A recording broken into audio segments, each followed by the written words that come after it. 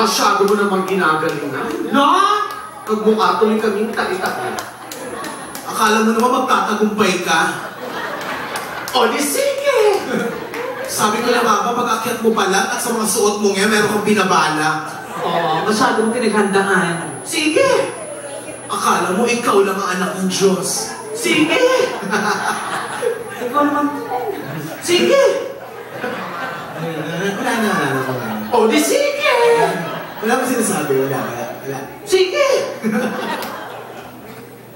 o ano na? Sino na? At ito na naman si Kuya. Kuya! Halika na! Ay, nakakanta ng anak. Kuya!